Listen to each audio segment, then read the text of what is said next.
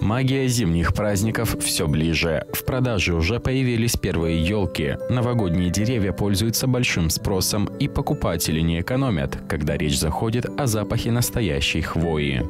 Deci, cum se vede, bradul este plantat.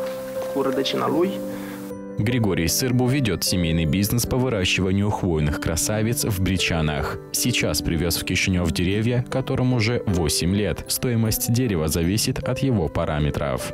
Bradul dat are 1,80 m. Эта елка высотой метр восемьдесят стоит 990 леев. Цена двухметровой – 1000 леев, а 2,20 будет стоить 1700. Елки подорожали, потому что очень тяжело найти рабочих. Nu-i poți găsi. По словам производителей, важно правильно ухаживать за деревом. Noi optăm pentru genul eco.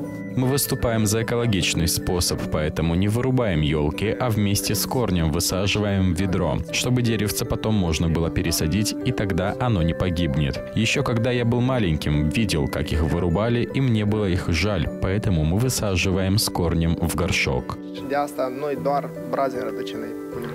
Цена елок в катках колеблется от 840 до 1700 леев.